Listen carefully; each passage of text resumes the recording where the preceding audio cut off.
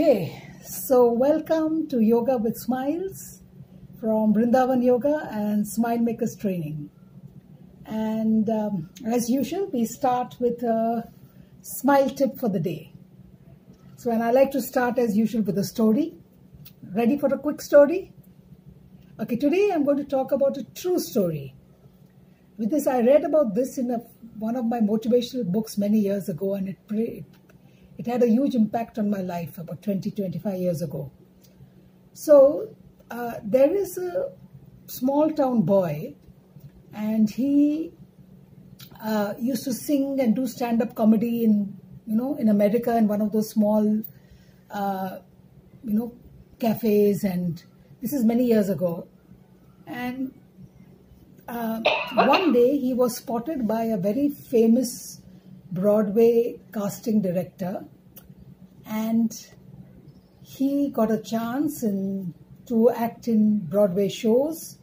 And before he knew it he was big time entertainer taking part in theater and movies and uh, you name it he was there. And by 31 he had almost everything one could ask for. Name fame uh, you know every single thing uh, what is considered as successful in normal life. Now I'm going to talk about another 31 year old woman. Uh, her name, I will tell you later. Uh, she was, you know, loved adventure sports and she used to go often for trekking and very fit and fine she was. And uh, at 28, she had a, I think, she had a very, very bad paragliding accident and she was paralyzed downwards and doctor told her she had to spend the rest of her life on a wheelchair. So at 31, she's sitting there on a wheelchair, accepting the fact that she's going to be strapped to the wheelchair for the rest of her life. Now, between this boy and this girl, okay, if you had a choice and you would like to have the life that they had,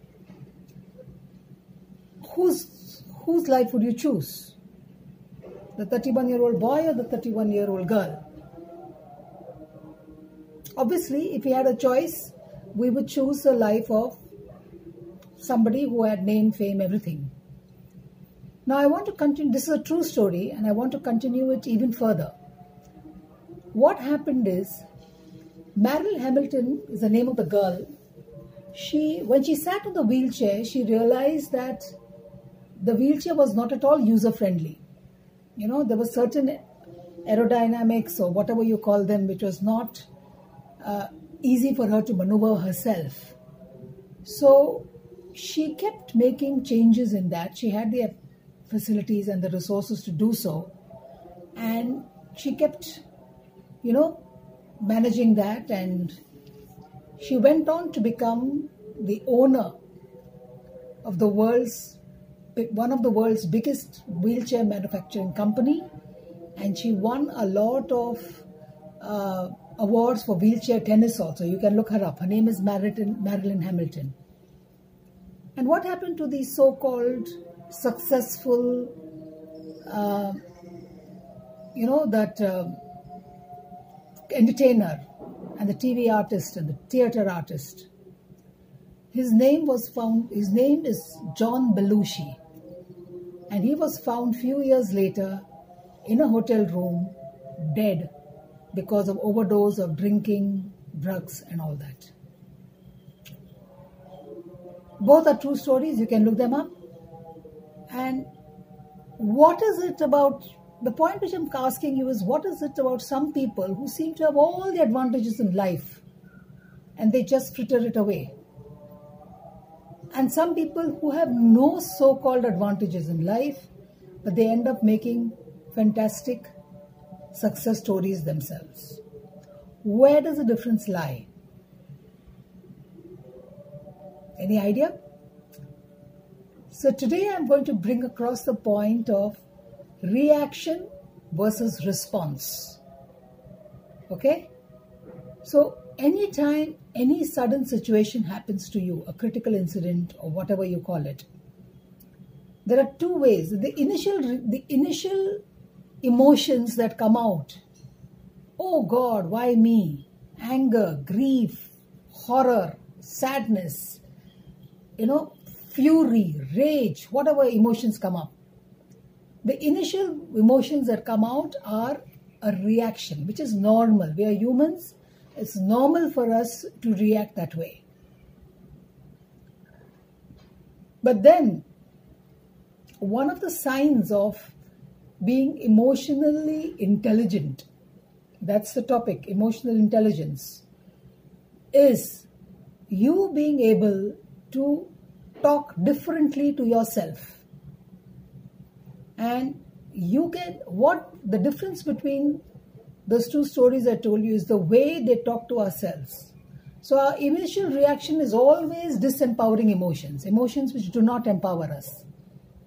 But you can look at the same situation in an empowering way. And in spite of whatever happened, you can look at the situation with hope, with confidence, with anything, any any any positive emotion you can put to it, and you can respond to it, and that that that behavior of uh, yours is not called reaction; it is called response. Okay, response is basically when you are in control of the emotions instead of your emotions being in control of you. Make sense? Yeah. So, so that is a small tip for today. Okay, we don't have to wait till we have critical incidents in our life, you know, to understand the meaning of reaction versus response. Okay, in your day to day situations, somebody says something, somebody behaves in a certain way, and most of the time, how we are is that we are in reactive mode. If you can just be aware that these reactive emotions, okay, are not going to serve you any purpose. And initially, it's all right to react because we are human. I want to cry, I cry. I want to get angry, I get angry.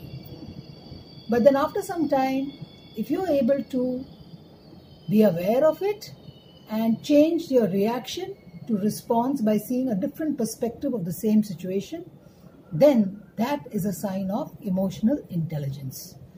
I've spoken a lot about emotional awareness, I've spoken a lot about emotional management, but this is called emotional intelligence, something that you require in to develop in yourself, some kind of a self-discipline where you have the ability to change your disempowering emotions into empowering emotions. Okay, so reaction versus response, that is the smile tip for today. I hope it is worth it. Have a great, great yoga session next. Thank you.